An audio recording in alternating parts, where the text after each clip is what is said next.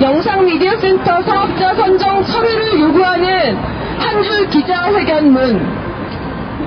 어이가 없었습니다. 납득할 수가 없었습니다. 도대체 영상미디어센터 심사를 어떻게 한 것인지 이해가 할 수 없습니다. 심사를 발로 했으니까 그동안 영상미디어센터를 아끼고 사랑하고 또 함께 만들어온 회원, 수강생, 교사, 독립영화인들은 자발적으로 영상미디어센터 정상화를 위한 비상대책 모임을 만들었습니다. 앞으로 우리는 이번 사태의 책임을 문화체육관광부와 영화진흥위원회에 제대로 따지고 물을 것입니다. 수산가스 농광부 사업자 선정 즉각 소리하라! 우리는 미디스트와